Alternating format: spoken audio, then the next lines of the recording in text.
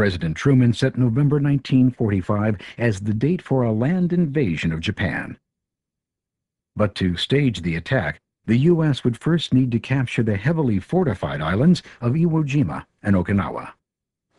Advanced air and naval bombardments were meant to soften enemy defenses for an amphibious invasion. But once on shore, U.S. Marines were forced to fight a terrifying war of attrition. Snipers fired on the advancing soldiers from hidden entrenchments.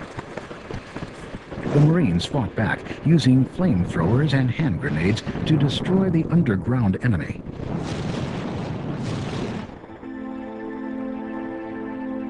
When the last shots were fired, over 18,000 Marines had died fighting on Iwo Jima and Okinawa.